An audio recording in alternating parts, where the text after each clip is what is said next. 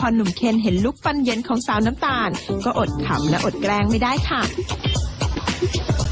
ไปชุดติ้งเองก็น่าสังเกตเคนภูมิภูมิอะไรนักหนาชอบแกล้งน้ำตาลพิจักคณาเดี๋ยวก็แกล้งนั่นแกล้งนี่เออ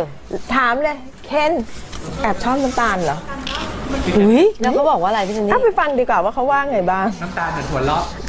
จริง ๆอะเคนโดนกลั่นแกล้ง มุสาวาทานะสี่ข้อสี่นะ เขาเยอะเพราะว่าแอบชอบเขารู้ป่ะเฮ้ย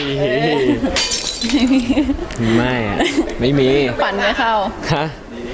ไม่มีไม่มีโหคำนี้คำถามอะไรกันเนี่ย ก็ทำงานด้วยกันไม่เข้า คือเราคิดว่าเขามาตามจีบเราอะไรอย่างเงี้ยยังไงก็ฝากดูเบื้องหลังเราสองคนด้วยนะครับ ในกรรมเทพออนไลน์นะฮะ จะเห็นว่า เคนโดนกลันแกล้งทั้งทั้งนั้นเลยเคนโอ้ยเหนื่อยครับ เหนื่อย เหนื่อยกับท่าทางเคนนี่แหละค่ะยังไงติดตามด้วยนะคะกับประเทศออนไลน์ค่ะเสียนันท์ช่อลำเจียกรายงาน